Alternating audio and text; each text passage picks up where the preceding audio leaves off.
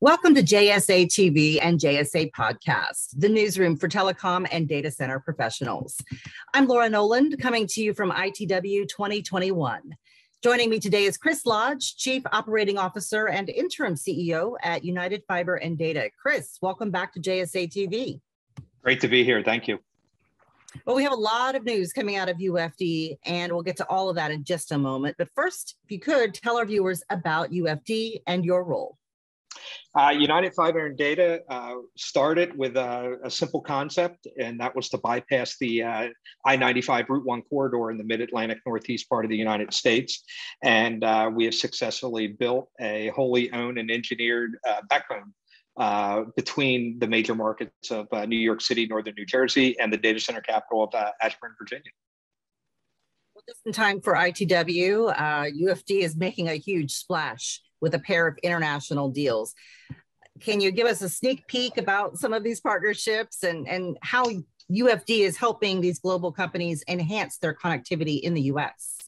Yeah, uh, this year has been uh, a great ramp for uh, United Fiber and Data.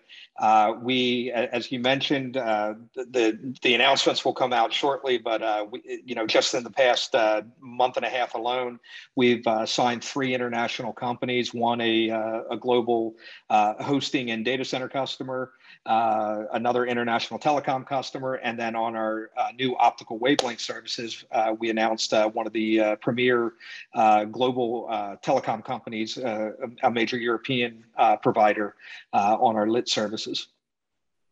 All right, so lots of news. Three deals, not two. so we've got three deals to look out for around ITW. You guys are staying busy, but what's next for UFD?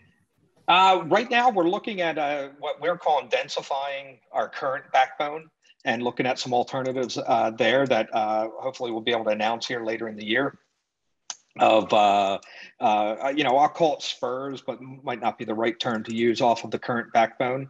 Uh, that'll strengthen uh, uh, the network and uh, also continue to provide our customers with the, the, service that they've grown to. one of the other things I would like to say is, I mean, besides those new deals, this year's been great. We've signed and turned up successfully multiple expansion services with our existing customer base, which are also some of the global uh, data center and telecom providers. United Fiber and Data keeps going and growing. Chris, where can our viewers go to learn more? Uh, UFD.com, United Fiber Data. So uh, our acronym UFD.com uh, or our Facebook, uh, but website, uh, link you over to any one of the uh, on the sales team or the marketing group, and we'll get back to you.